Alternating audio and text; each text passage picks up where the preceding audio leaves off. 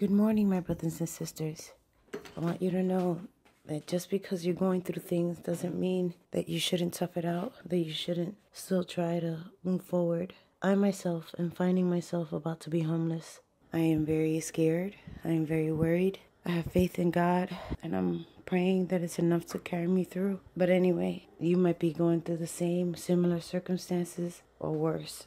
I cannot apologize for life circumstances, but I can say Try to tough it out. Keep your head floating above water as best as you can. I know it can be hard. I work and I also have a program that uh, that helps compensate for my inability to economically take care of myself. And now I can't find anything. But that's besides the point. That's only one of my many obstacles. As soon as, as soon, God forbid, many of you may experience soon when you're out here alone. It really, really feels like you're alone when you're going through really bad, hard times. When things are fine, you will find you have a lot of friends, a lot of people that want to talk to you. When you're looking good, but you're on your own when the going gets tough. So please toughen up, guys. I'm trying. You should try too. And don't give up.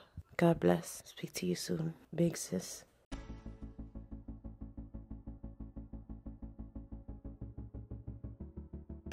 When we are no longer able to change our situation, we are challenged to change ourselves. I love you, God. Associate yourself with people of good quality, for it is better to be alone than to be in bad company. Booker T. Washington, and not the wrestler. Stop being afraid of what could go wrong and think about what can go right. In the end, we will remember not the words of our enemies, but the silence of our friends. Love is kind. Love is patient. Love is kind. It does not envy. It does not boast. It is not proud. It is not rude. It is not self seeking. It is not easily angered. It keeps no record of wrongs. Love does not delight in evil, but rejoices with the truth. It always protects, always trusts, always hopes, always perseveres. Love never fails. The meaning of life is to find your gift, and the purpose is to give it away. Pablo Picasso. I say what I want to say and do what I want to do. There is no in between. People will either love you for it or hate you for it. You have no boundaries in what you can achieve in life. It's funny, but sometimes the people in your life who are miles away can make you feel better than the people in your life who are right beside you because they understand.